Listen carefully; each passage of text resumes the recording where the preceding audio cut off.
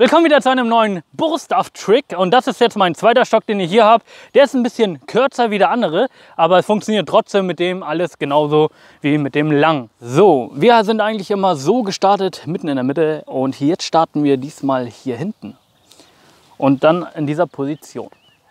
Und hier möchte ich euch diesen Trick beibringen. Aber das ist noch nicht alles, sondern so und so. Dann ist er hier. Zack, Zack. So, dieses Mal starten wir hier hinten an dem Ende und fast am besten nicht ganz unten an, aber auch nicht zu sehr oben. Wenn ihr zu sehr oben anfasst, dann habt ihr ein Problem hier nachher mit dem Schleudern. Wenn ihr zu weit unten anfasst, dann habt ihr das Problem, dass er unten auf dem Fußboden aufschlägt. Also wohin jetzt mit meiner Hand hier am Ende? Zu weit unten darf er nicht, aber zu weit oben auch nicht. Das heißt, ihr müsst einen Mittelpunkt finden. Nehmt am besten die Hand, womit ihr rumschleudert. Dann nehmt ihr die zweite Hand und dann hier Zeigefinger und Mittelfinger ungefähr hier greift ihr dann nochmal zu. Das heißt ungefähr anderthalb Hände und hier habt ihr den perfekten Griff. So, wir stehen normal schulterbreit, benutzen den Stock hier vorne, machen einmal zack. Ganz einfach, einmal aus dem Handgelenk heraus.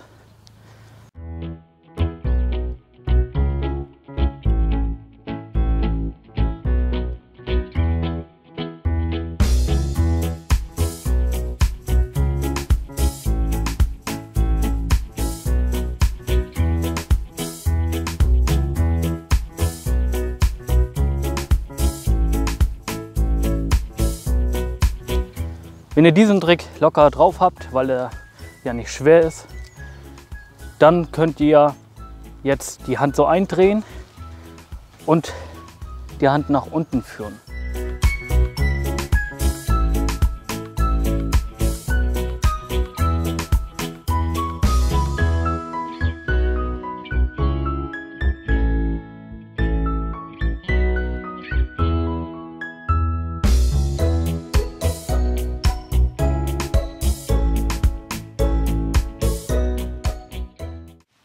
Also, erstmal den hier und dann kommt der andere.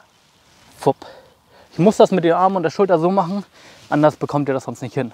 Wenn ihr das nämlich nicht macht, dann könnt ihr diesen Stock zwischen die Beine bekommen. Und das ist ja für den einen oder anderen Typen nicht so gut. Bei der Frau tut es auch weh, habe ich gehört. Das heißt, der Stock muss ganz geschmeidig über die Schulter gehen. Zack. Hier spielt es auch eine Rolle, wie hoch ihr mit der Hand nachher geht, wenn ihr hier rumschleudert. Wenn ihr zu sehr unten seid, kommt der Stock auch nicht rüber. Und wenn er zu sehr hoch geht, fliegt der Stock auch nur über die Schulter. Das heißt, ihr habt, ja, es ist unkontrolliert dann. Und da wir den Stock ja kontrollieren wollen, müssen wir erstmal ganz langsam trainieren. Zack. Das heißt, ihr müsst erstmal tausendmal ungefähr immer diesen Trick hier machen.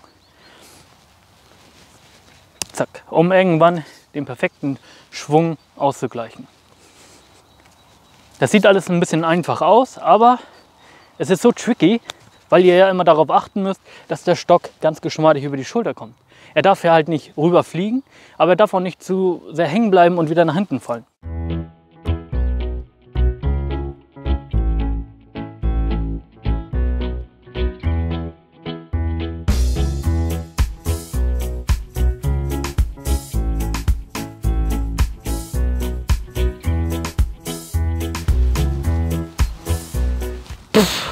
Wenn er schön rum geht, ist es gut. Wenn er rüber fliegt, habt ihr zu sehr nach unten gegriffen, weil dann fliegt er wirklich nur rüber.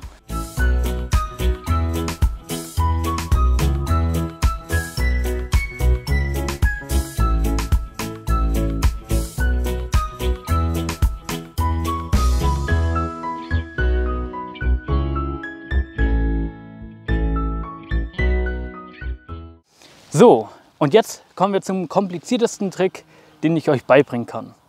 Hier haut ihr den Stock rüber.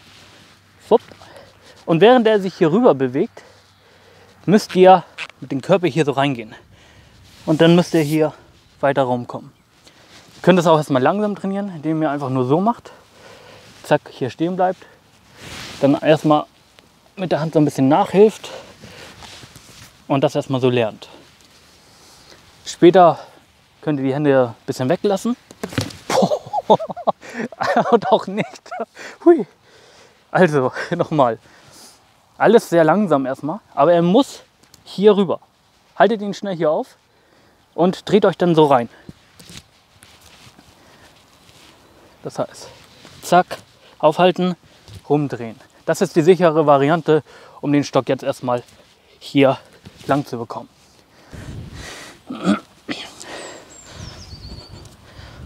Habt ihr gemerkt? Hier rollt er ganz gemütlich über die Schulter. Und das müsst ihr ausnutzen und den Kopf einfach so dann reinnehmen. Die Schulter am besten nach unten ziehen, so, und dann das Gesicht hier in die Richtung. Also erst über die Schulter und dann schnell rüber. Hier über die Schulter, zack, und schnell den Körper so reindrehen. Zack. Und jetzt. Also ihr braucht bei diesem Trick keine Angst haben. Bei diesem Stock hier kann euch nichts passieren. Und wenn ihr den Trick macht, lasst den Stock erstmal ganz gemütlich über die Schulter kommen. Das war jetzt leicht zu schnell. So, leicht kontrolliert. Das war gut. Und jetzt müsst ihr den Körper mit reindrehen. So, okay, da habe ich den Stock leicht verpasst. Da hätte ich den Kopf ein bisschen weiter nach unten nehmen müssen, um den Stock halt die Chance zu geben, ja, noch rüber zu kommen. Sonst rutscht ab hier wieder zurück. Alles am langen Arm, zack, und dann zack. Habt ihr gemerkt? Ich habe jetzt nur die Beinstellung leicht geändert hier. Und schon kommt der Stock auch rum. Also funktioniert nicht immer beim ersten Mal, man braucht ein paar Übungen dabei. 100 Mal oder so, aber funktioniert. Wenn ihr zu langsam seid, habt ihr ja gesehen, dann ist es auch nicht so gut, aber es ist sicherer und ihr verletzt euch nicht. Also erstmal langsam, zack, und dann hier rum. Keine Angst dabei haben, zack, zack. Ja, ich würde sagen, mehr mit dem Körper reindrehen. Ihr könnt ja alles ganz langsam trainieren und ihr müsst einfach nur mit dem Körper bisschen arbeiten und schon funktioniert der Trick. Es ist halt sehr viel Übung. Ist nicht einfach hier mit der Hand ein bisschen rumschleudern, sondern es äh, braucht ein bisschen Feingefühl dabei. Ihr müsst im Moment abpassen. Wenn ihr merkt, der Stock ist hier, dann müsst ihr reagieren und einfach reingehen. Nicht zu schnell, nicht zu langsam. Wie schon gesagt, alles eine Frage der Zeit. Ihr müsst das richtig abpassen und dann wird der Stock auch einfach hier um den Hals und Schulter schwingen. Mehr ist es nicht. Einmal hier Schwung holen, zack. Erstmal über die Schulter. Was äh, ab und zu passieren kann, dass der Stock hier an dem Ohr so vorbeischleudert und bei der Kälte tut das doch ganz schön weh. Es ist wichtig, dass ihr in den ersten Momenten hochkonzentriert seid. Das heißt, ihr müsst erstmal den Stock auch hier über die Schulter bekommen. Und je näher ihr mit dem Stock hier auf der Schulter seid, desto leichter und besser geht dann der Trick. So, und jetzt müsst ihr nur noch den Hals steif machen und den Oberkörper reindrehen dabei. Und sagt am besten immer dabei Halskrause und habt ein Bild vor Augen und sagt Halskrause, Halskrause, Halskrause. Und dann bleibt ihr auch steif mit dem Hals und dem Kopf.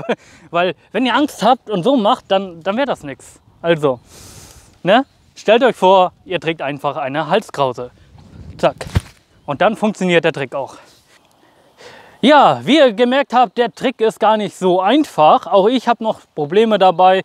Vielleicht, weil ich ihn nicht über tausendmal gemacht habe. Ähm, ja, auf jeden Fall, es funktioniert. Ihr müsst halt nur die Sachen beachten. Und Übung. Übung ist das Ziel zum Erfolg. Und je öfter ihr es macht, desto leichter und sicherer werdet ihr euch dabei.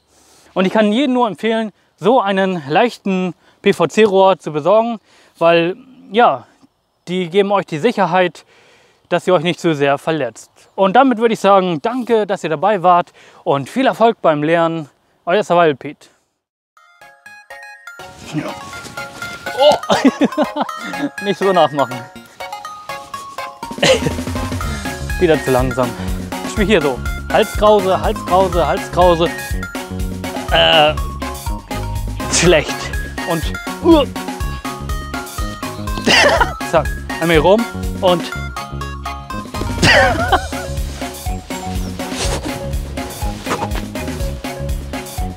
ich dachte, ich habe gelernt, aber na, ich kriege den irgendwie nicht mehr hin.